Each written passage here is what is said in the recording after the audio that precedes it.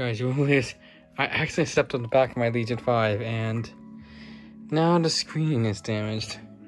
So I think the key was working completely fine now.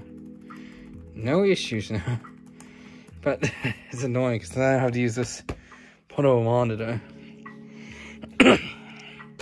and the charge light no longer works. Um, and this is an old laptop. I am thinking about upgrading my Legion 5 from my Legion 5 Pro. I'm probably just gonna get Legion 5. Um, um, because Legion 5 Pro has thermal issues. That's the only issue. This one, just turn it on and saw this. So, yeah, this can only be used um, as a PC now because this display doesn't work properly anymore. Um, I'm not gonna get this repaired for the company. Plus, it's really bad image. Like to see this hinge part's broken, this keyboard part's broken, bottom case is broken. So way out of the repair state. Yeah, way out of the repair state. So yeah, that's gonna have to be used as uh, for. It's gonna have to be used as a PC, which is annoying. But yeah. Yeah, and I was at the, the same store again. I got I got two keywords. I got this Logitech one. Switch over here.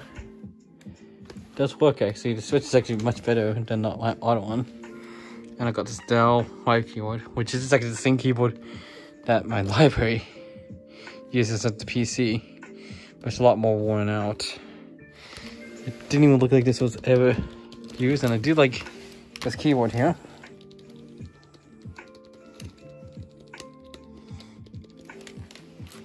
And I was actually at Costco and I got, got a hard drive.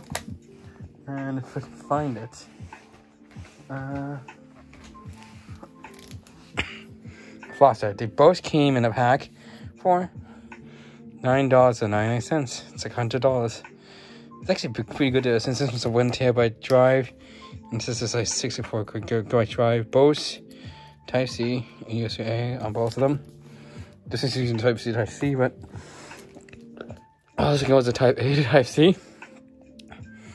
so yeah, possibly use that SSD in my computer, in my Xbox S. So stay tuned for that. Yeah, this is annoying. So I hope you guys enjoyed this video.